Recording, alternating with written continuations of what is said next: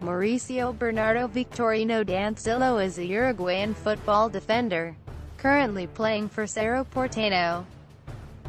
Club career Nacional He made his debut for Nacional in a Copa Libertadores match against Argentine River Plate on March 3, 2005. Veracruz in August 2006 he was transferred one season to Veracruz where he played in the Mexican Primera Division. In July 2007 he returned to Nacional Universidad de Chile.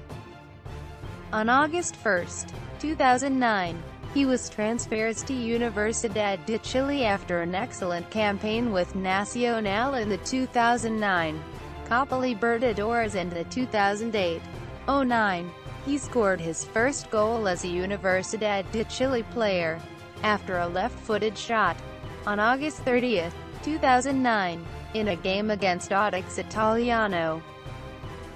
Cruzeiro National Team Victorino played on the Uruguay national team in the 2010 FIFA World Cup.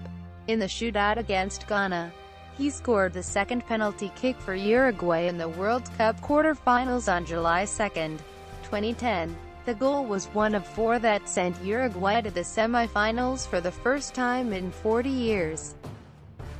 Honors Club National Team